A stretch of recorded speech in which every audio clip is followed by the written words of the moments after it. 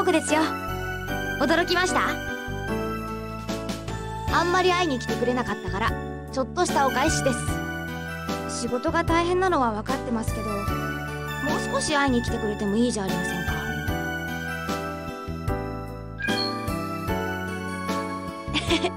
冗談ですよ。忙しいあなたに無理を言う気はありませんから。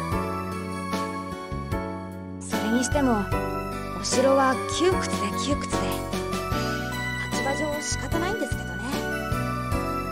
いつもはみんなが思っている国王の姿を演じてますから。だからたまにこうやってお城を抜け出して息抜きしてるんです。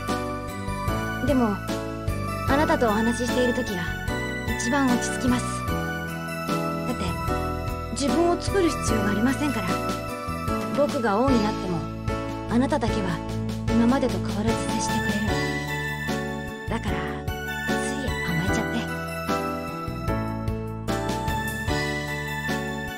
そういえば僕この間15歳になったんですよ。